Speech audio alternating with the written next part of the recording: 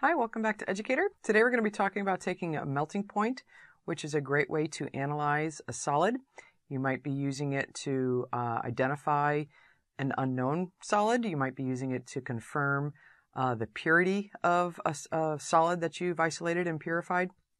And uh, melting point obviously is a is a physical property of a solid compound, and the more pure the solid is, the sharper the melting point is going to be. And so that's why it makes a great tool to uh, not only tell us whether or not the compound matches the literature value, so that helps with the identification of a compound, but how pure your particular sample is by how narrow the range is of the melting point.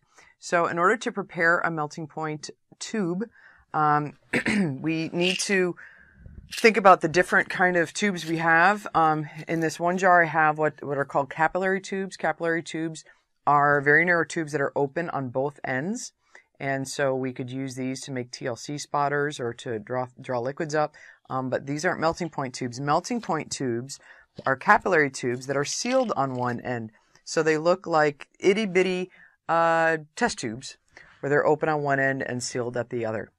And what we want to do is we want to load the melting point tube so that our sample is, um, our solid sample is packed tightly at the bottom, at the closed end, um, at a height of one to three millimeters. So now if you don't know what one to three millimeters looks like, you should get a ruler and you should hold it up and you should, uh, and you should measure it. And once you know what a couple millimeters looks like, then from the, in the future you can, you can go off your judgment.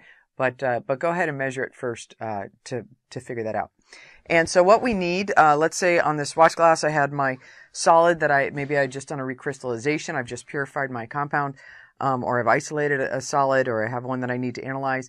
I want to um, get some of that into my melting point tube. The first thing I have to do is I have to make sure that this is a powder. If it's not already a powder, a lot of times it's uh, they're, they're crystalline. Um, we might have some nice crystals there. What we want to do is kind of grind that that crystal up into a powder. So take a small portion of your sample, a representative portion, and grind it up until it's a fine powder because it's that fine powder we need to take the melting point.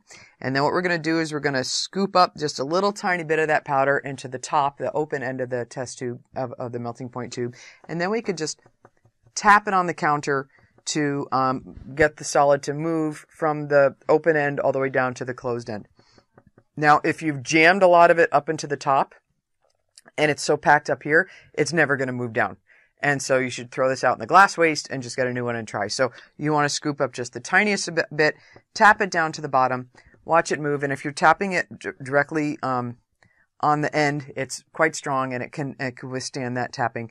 Or watch it to the end and then take a look. If you're not at a couple millimeters, scoop up a little more, tap, tap, tap, move it down until finally you have a sample size at the bottom that's between one and three millimeters and that's packed tightly. So we don't want air pockets in there because then that's going to not give us even heating as we heat our sample. So we want it nice and tightly packed um, until uh, and at the proper height. And again, if it's less than a millimeter, you can't really see the sample very well um, to, to make your analysis. If it's more than three millimeters, again, you're going to have a problem with uneven heating, and so you're not going to get an accurate um, measurement there. So that's why it, it needs to be both tightly packed and somewhere around a couple, you know, just a couple millimeters. Now, what I have here is an example of a melting point apparatus, and um, it's got a couple things. It's got a, a heating block, so it's going to heat our sample. I slide this in. It's got a little slot to hold the melting point tube, so I, I put the closed end down with the sample in it, and um, it's got a heating block that the that the sample is now resting next to. It's got a um, thermometer to tell me what temperature the the unit is at. It, and when I hit the power switch, it also turns on a light, so, and it has a little magnifying glass, so I can look in this window and I can see my sample. It's going to be magnified, so I can see these crystals very clearly. Uh, it also has a dial here to control how quickly I'm heating the sample. So this controls the rate of the temperature of heating. And uh, you only want to be rate, you don't want to be um, heating it too quickly because if you're heating it too quickly, you're going to have a heat lag between um, what the the melting point apparatus temperature is and what the crystals really are. If it's heating too fast, then you're going to have a lag, and your crystals aren't really going to be as hot as the as the thermometer is.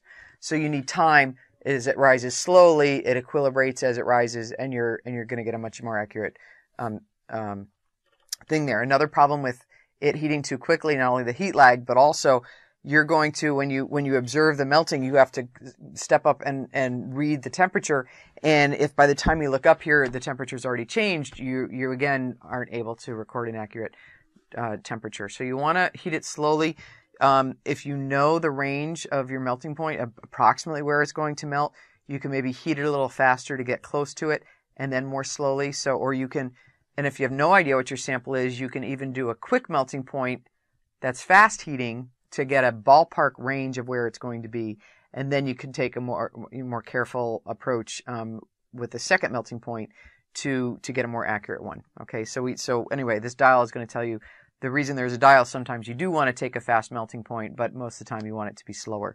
Um, and so we're going to be watching our crystals, and there's two things we're going to be watching for. There's two temperatures we're going to be recording, so we're going to make sure we always have a pen in hand and our notebook here, so we're ready to record the data as we're taking it. We don't take little scraps of paper, paper towel or something, and then transfer it later. This is your data. You need to record it live. So we're, I'm going to be watching as it's as it's heating up.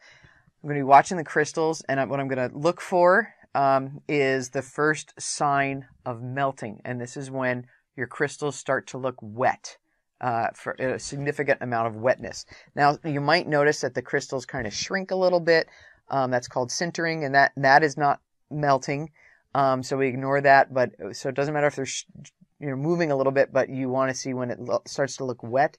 That is melting, and so we're going to record that temperature. That's the first temperature of our melting point range. And then we're going to continue watching our crystals, and bit by bit, you're going to see the rest of the bulk of the crystals are melting.